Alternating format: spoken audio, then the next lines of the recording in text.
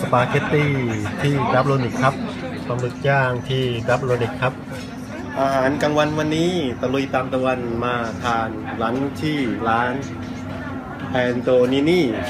ที่เมืองดูบรอฟนิกโครเอเชียครับ